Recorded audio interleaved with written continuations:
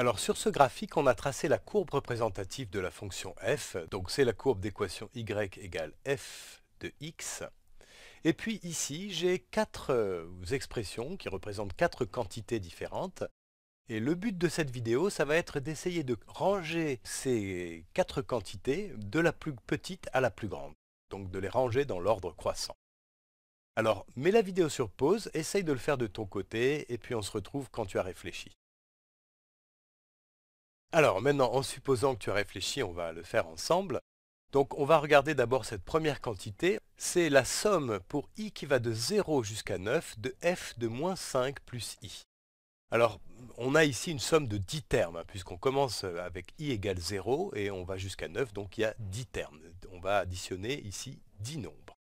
Alors le premier, c'est pour i égale 0, f de moins 5 plus 0, donc c'est f de moins 5. Alors f de moins 5, c'est en fait cette distance-là. Hein. Moins 5, c'est ici. Donc f de moins 5, c'est cette distance-là. Ensuite, on a f de moins 5 plus 1. Donc moins 5 plus 1, ça fait moins 4. Donc ça revient à faire f de moins 4. f de moins 4, c'est ici. C'est toute cette longueur-là. Ensuite, pour i égale 2, on a f de moins 5 plus 2, c'est-à-dire f de moins 3.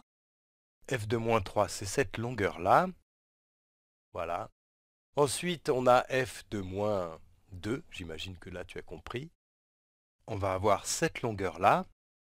Ensuite, on augmente encore i de 1 unité. Donc, on va avoir f, c'est pour i égale 4 cette fois-ci. Et ça donne f de moins 1. f de moins 1, c'est toute cette longueur-là. Voilà. Ensuite, pour i égale 5, on a f de moins 5 plus 5, ça fait f de 0. C'est tout ça. Voilà. Et puis ensuite, pour i égale 6, ça donne f de 1. f de 1, c'est toute cette longueur-là, toute cette distance-là. Ensuite, f de 2, c'est toute cette distance-là. Voilà. Ensuite, f de 3, qui est cette longueur-là. Et ensuite, le dernier, c'est pour i égale 9. Donc c'est f de moins 5 plus 9. f de moins 5 plus 9, c'est f de 4. Donc c'est cette longueur-là. Voilà. Alors bon, on additionne ici des nombres, c'est pas très très pratique en fait pour pouvoir comparer avec les autres. J'imagine qu'il va falloir relier cette somme-là à l'aire de cette portion de plan sous la courbe qui est coloriée en, bleu. Donc pour ça, ben, en fait, il faudrait arriver à exprimer ce nombre-là comme une aire, l'aire d'un rectangle par exemple, et j'imagine que là, euh, comme j'ai tracé quelques lignes, peut-être tu vois ce qui se passe en fait, c'est l'aire de rectangle de côté 1, hein, de largeur 1 unité. Donc, tu vois que si je multiplie ici par 1, voilà. Ce que j'ai ici, c'est l'aire de ce rectangle-là. Ensuite, j'ai l'aire de ce rectangle-là, puis l'aire de ce rectangle-là, puis l'aire de ce rectangle-là, et ainsi de suite. Tu vois que j'ai l'aire. En fait, ce que j'additionne, c'est l'aire de tous ces rectangles qui sont là. Donc là, quand on voit ça comme ça, ça va nous aider dans notre problème parce qu'on peut relier cette aire-là, donc cette somme-là, qui est l'aire de tous la somme de l'aire de tous ces rectangles, à l'aire de la portion euh, coloriée en bleu, la portion de plan coloriée en bleu. Et on voit que clairement, ça, c'est une, une, estimation de cette aire coloriée en bleu par défaut, hein, puisque à chaque fois, on laisse de côté une petite partie qui est ici. Voilà, toute cette partie-là que je colorie ici on n'en tient pas compte. Voilà, tout ça, c'est enlevé. Donc ça, c'est clairement une estimation par défaut. C'est une estimation par défaut. Donc en fait, ce nombre-là sous-estime l'aire de la portion coloriée en bleu. Donc ça, c'est pour cette première expression. Maintenant, on va regarder la deuxième. Alors, je vais prendre une autre couleur, euh, disons un vert. Voilà pour regarder la deuxième expression.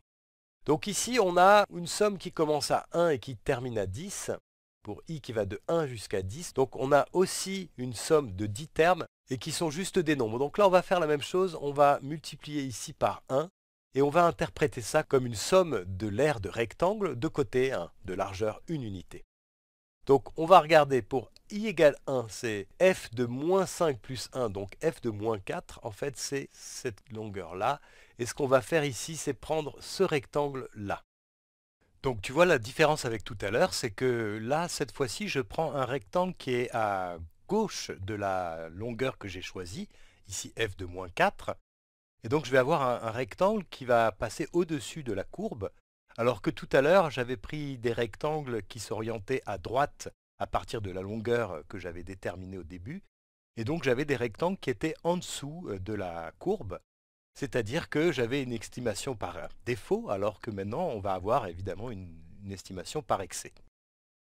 Ensuite, pour i égale 2, on va avoir f de moins 5 plus 2 fois 1. Donc f de moins 5 plus 2, c'est f de moins 3.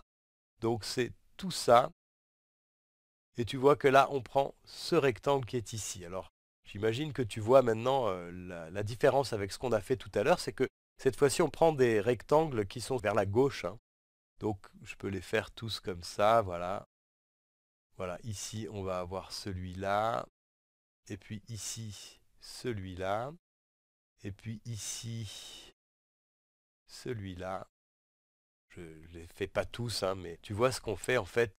On a aussi une approximation de l'air qui est colorié en bleu, mais cette fois-ci c'est une estimation par excès, puisque là on ajoute toutes ces parties-là. Voilà, toutes ces parties qui dépassent, toutes ces parties-là, qui sont au-dessus de la courbe, font que finalement, ça c'est une estimation par excès.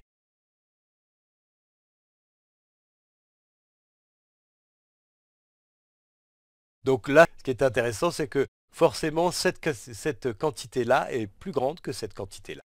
Alors maintenant, on va regarder la troisième.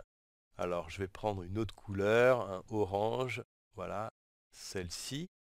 Euh, celle-ci, donc c'est là cette fois-ci, on a f de quelque chose multiplié par 1 demi. Donc là, en fait, on va prendre des rectangles de largeur 1 demi.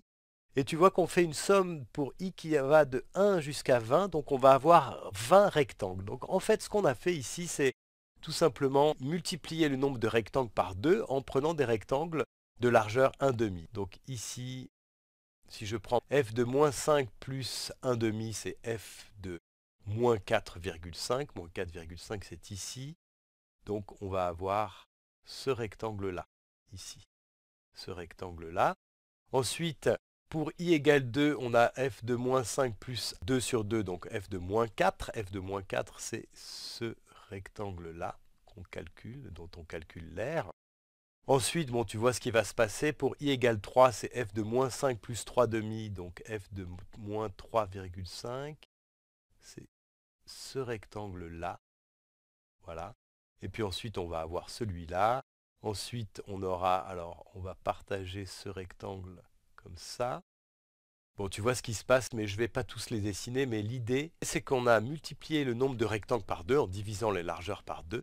Et puis du coup, tu vois que ici, on se retrouve avec une estimation par excès encore de l'air colorié en bleu, mais elle est plus faible, hein. elle est plus faible que celle-ci, puisque tu vois que ici, alors je vais le faire peut-être un peu mieux, là on, on va avoir ça en plus et ça en plus, donc tu vois qu'on a un peu moins euh, de surestimation que dans le cas précédent.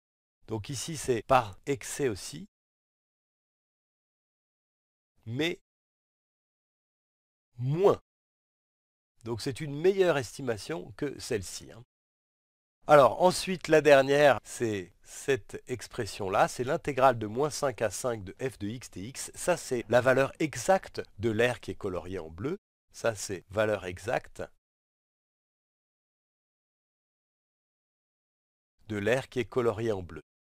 Alors maintenant qu'on a fait ça, on peut ranger ces valeurs-là dans l'ordre croissant alors je vais le faire plutôt dans l'ordre décroissant. Hein. Donc la plus grande des valeurs, c'est cette estimation par excès. C'est une estimation par excès qui est plus grande que celle-ci. Donc ça, c'est la plus grande des valeurs. Je vais la noter avec un 4, c'est celle qui arrivera en quatrième position. Ensuite, on a une autre valeur par excès, mais un peu meilleure, un peu plus proche de la valeur exacte. Donc ça, c'est celle qui arrive en troisième position. Ensuite, on a la valeur exacte, la valeur exacte qui arrive en deuxième position. Et puis enfin, la plus petite de toutes, c'est l'estimation par défaut, qui est celle-ci. Voilà, donc l'ordre croissant, c'est d'abord celui-ci, le plus petit, ensuite celui-ci, ensuite celui-ci, et ensuite celui-ci.